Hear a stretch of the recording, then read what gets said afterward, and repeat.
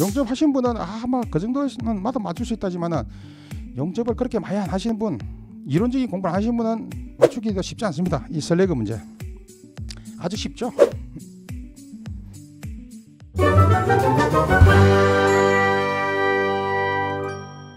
다음에는 우리 이제 자동 영접이라는 어, 이런 거죠.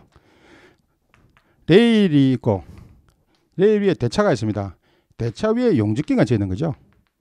용접기 앞에 이렇게 호퍼를 통해 가지고 플럭스가 이렇게 쏟아지는 거죠. 그냥 중력식 기계 장치 아닙니다. 밸, 밸브만 뚜껑만 열, 열면은 그냥 쑥 쏟아지는 게 중력식이라는 얘기입니다. 중력식.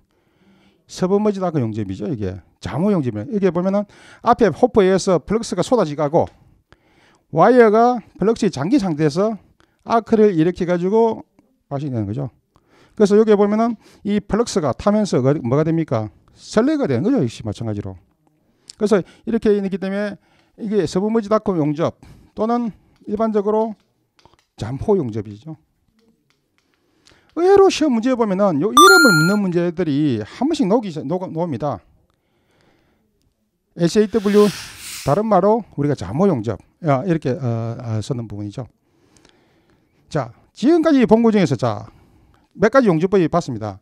또 우리 시험 문제 놓으시는 거 보면 자 전체적인 총합이니까 설레그가 만들어진 용접이 있더란 얘기죠.